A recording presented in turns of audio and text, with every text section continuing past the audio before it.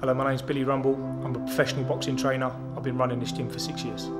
Well, I was about 18 months when I originally went to a boxing gym through my dad. Well, I started training at six years of age, and uh, my dad said to me, "Go down to the Lynn," and uh, the trainer who I didn't know at the time, uh, he's come into the Lynn to open up, and he said, uh, "What are you doing?" Here? I said, "I want to learn how to box." I was with two or three of my mates, and uh, he said, "How old are you?" I went six. He said, "No, you're too young." So I said, well, my dad's Reggie Rumbol. We went, who? I said, Reggie Rumbol. Put his arm around me, took me in to the Lynn. He said, so so, so. Anyway, I carried on from there.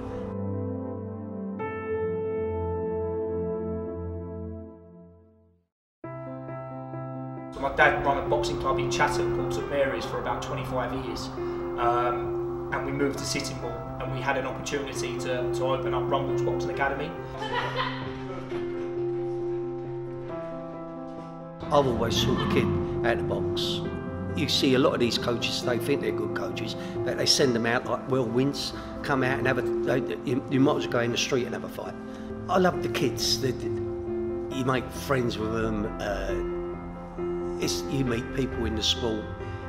It's a good game to be in, you know, for the, for the children. I have phone calls, Billy has phone calls, parents will tell you, they're, they're wild. I said, we'll bring them down once we got them under our wing, they're fantastic.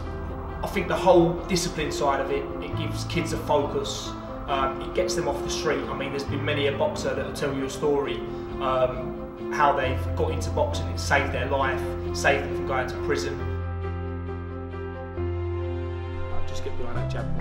An ideal person to train, um, somebody that's listened. Nice You'll get your travelling backgrounds, you'll get your grammar school students, you'll get people that have been chucked out of school, you'll get everybody.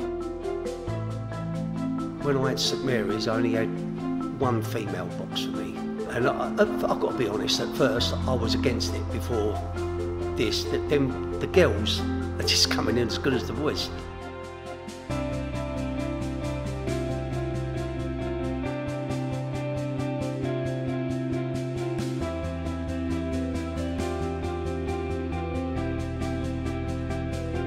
Used to be frowned up on um, female boxing because you know the old school people used to say, oh, we don't like seeing girls with black black eyes or broken noses or, or whatever, which in some in some respect is, is is fair enough. But I think now it's just a normal thing. Girls box and girls are good at it.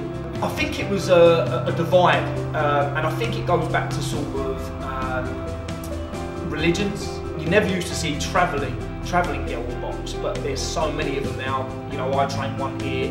Um, she's very, very good.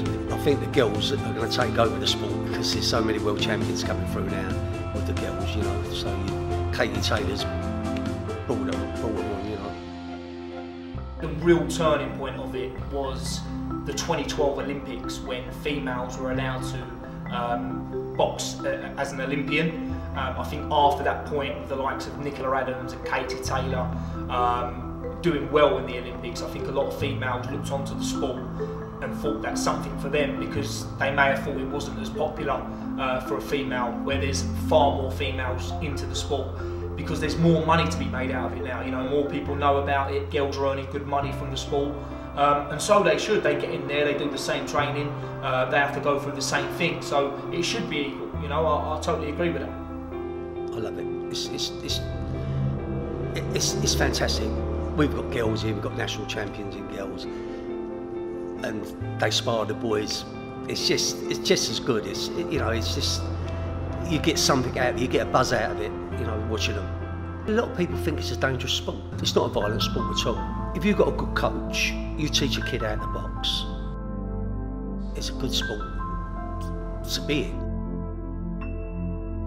a lot of people don't like the sport. But I think if you've brought that up, my dad used to box. Um, loads of friends that I knew used to box. That's how we got into it, really. You know. Just, just go to your local boxing gym. You know, walk through the doors. You'll never be allowed to get into that ring unless they know you're ready. And just give it a try. You know, they call it a sweet science for a reason.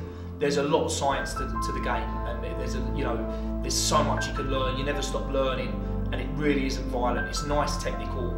you know, it's an art. I like to see it as an art. It doesn't matter if you're rich, poor, you know, posh, common, whatever you may be. Um, you'll meet all different types of people in, in the boxing world, um, and that's the great thing about it. You know, it's a very small community. So yeah, I think the, the future for boxing is, is very bright. I think with all the science behind it now as well, I think that boxers' careers are, are longer uh, because there's more nutrition, there's more science behind it, like I say. So yeah, in, in answer to your question, I think the future is very good for